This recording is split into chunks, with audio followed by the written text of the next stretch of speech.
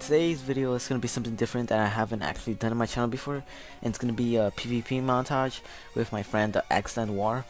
Um, he's my guildmate, so, you know, I might actually be doing more of this. I'm not sure yet. Uh, with more of my guildmates. So yeah, if you're gonna be one of these videos, go ahead and join. Um, link to the description uh, for the link on how to join will be there. Um, but yeah, basically we did um, who whoever could get 10 wins you know, straight. Doesn't matter what the other person has. So yeah, he actually ended up winning. So yeah, pretty much I got bad luck. I mean, we were pretty tied. It was uh, what 10 to 8. So I was pretty lucky. Um, he was pretty lucky. he won. So yeah, anyways guys, I hope you guys do enjoy it. And if you did, then go ahead and like and subscribe if you haven't already. And I'll talk to you guys later.